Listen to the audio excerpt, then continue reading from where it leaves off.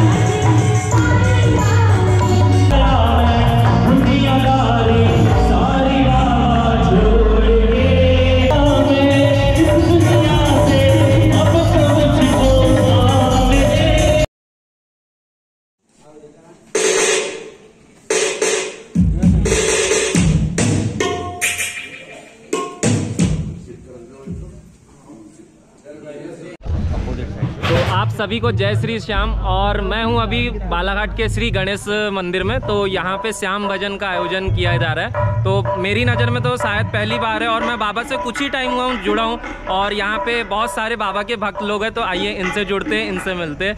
तो आप सभी जन को जय श्री श्याम। तो बताइए अपने श्याम भजन के बारे में बताइए। आज चौदह तारीख मकर संक्रांति का दिन है। आज एक प्रयास चालू किया है। श्याम बाबा के भजन रखे गए हैं। हमारे भाई अंकित जी। जय श्री श्याम। जय श्री भजन गायकी में सानिध्य में सभी भक्त लोग इसका आनंद लेंगे। और एक एक प्रयास है हमेशा ऐसा होता रहे। हमारा हर महीने की चौदह तारीख को प्रयास है लोग जुड़े इससे और इसमें सहयोग करें हमको आके। जी। और मैं आपसे ये पूछना चाहूँगा कि जैसे अपन कोई भी आयोजन यहाँ बालाघाट में श्याम भजन जैसे करवाए श्याम बाबा का कार्यक्रम करवाए तो अपन से लोग कैसे जुड़े लोगों को लोगों तक के कैसे पता लगे? इस प्रकार हर महीने हमारा करने से क्या होगा धीरे धीरे लोग इसमें जुड़ना चालू हो हर महीने की चौदह चौदह तारीख को हमारा प्रयास है कोशिश ये रहेगी कि हर महीने करें। आगे जैसा भी फिर लोगों के सजेशन सुझाव के आधार पे तारीख आगे पीछे भी हम कर सकते हैं। जी, जी। ऐसा कुछ नहीं है है ना? और धीरे धीरे दो चार बार प्रोग्राम लोग जुड़ेंगे अपने आप लोग जुड़ते चले जाएँगे इसमें। जी है बिल्कुल ना? जय श्री श्याम। जय श्री श्याम। जय श्री श्याम। जय हेलो जय श्री श्याम। और ये बाबा की जोत यहाँ पर हम लेने जा रहे हैं एक बार सभी दोनों हाथों पर उठाएँगे और बोलेंगे बोल हारे के सहारे की खाटू नरेश की तीन बाण धारी की। और विधिवत बाबा की जोत उसके बाद हम आज का शाम कीर्तन यहाँ से करने जा रहे सभी भक्त आवाज़ पहुँच रही तो आए शाम कीर्तन का ज़्यादा से ज़्यादा संख्या में लाभ उठाओ